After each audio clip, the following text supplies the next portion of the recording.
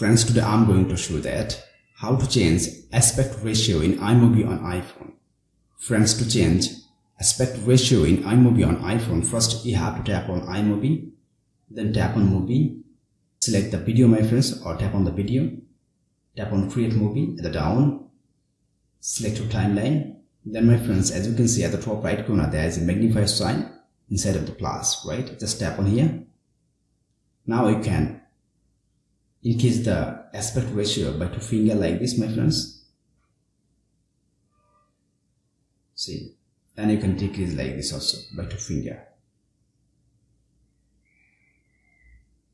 after done all the things just tap on down the top left corner and you can share your video from here my friends and you can also save your video.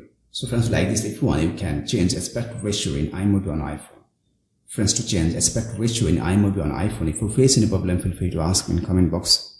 I'll try to give answers as soon as possible.